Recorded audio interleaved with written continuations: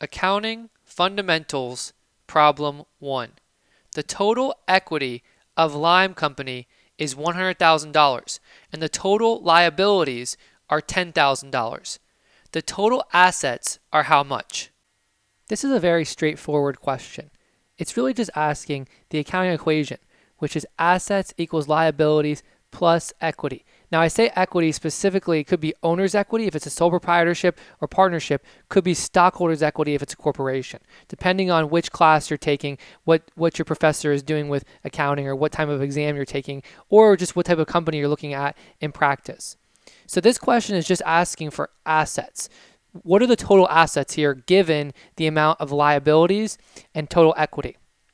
So, really, the idea is that if we can plug in the liabilities, which we're told here is $10,000, and the equity of $100,000, then we can solve for assets. So let's go ahead, and some of you might be looking at this and you're saying, wow, this is like algebra again. It, it kind of is, but the idea here is the balance sheet in the accounting equation, which is the central focus of all accounting. That's what you're doing. The asset side of the balance sheet, which is on the left side, equals the liabilities and owner's equity or equity side, I should say, which those two things are on the right side of the balance sheet. And that's the accounting equation. That is the main focus or the main item of accounting. It's, it's the most important formula out there to help you understand accounting. So always remember that. So here, just to get the assets, we're going to add the $10,000 of liabilities plus the $100,000 of equity. We're going to get $110,000 and therefore assets equal $110,000.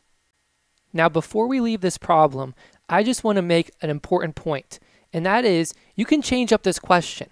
I could tell you that assets are $110,000, which of course the problem does not, but I could change that around and say assets are $110,000. I could tell you that equity equals $10,000, I'm sorry, $100,000, and you might have to solve for liabilities. So you could have a difference here, and your professor or your exam could change that up. So you just use the accounting equation. And it's a simple one. Again, I know algebra is here, and I know many of you, you do not like algebra. You do not even like the crazy math. I completely understand. But this is real simple. It's just three variables, and there's just addition. So you would just take as A equals L plus E, right? Assets equals liabilities plus equity.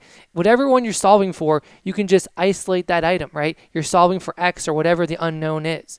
So you could take assets, you could bring that over, right? If you subtract away equity, remember the rule in, in algebra, what you do to one side, you must do the other. So if we subtract subtract the equity, right, it, it eliminates that, and then liabilities equals assets minus equity. Or if you do the same thing, you could do assets minus liabilities equals equity if you were solving for equity.